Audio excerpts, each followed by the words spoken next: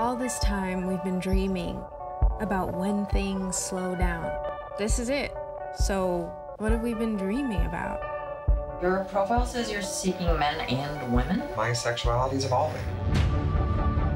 Now could be a good time to have another baby. Stop. He said I'm too intense. Can you believe that? No. No. we should tell Sophie the truth. Oh my God. Yes! Yes. You were so fine, I had to remind myself to breathe. I'm in love with you. Now that I said it out loud, it does sound weird. Let's do this.